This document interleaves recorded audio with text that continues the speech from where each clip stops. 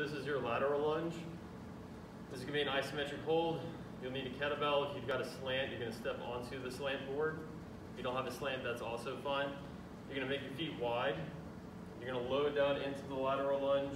Same thing, not looking down at the ground. You wanna pick a spot that's out, a couple of feet out in front of you, look down at a 45 degree angle, and hold.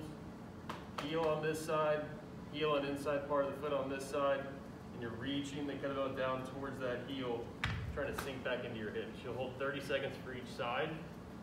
That's your lateral lunge iso.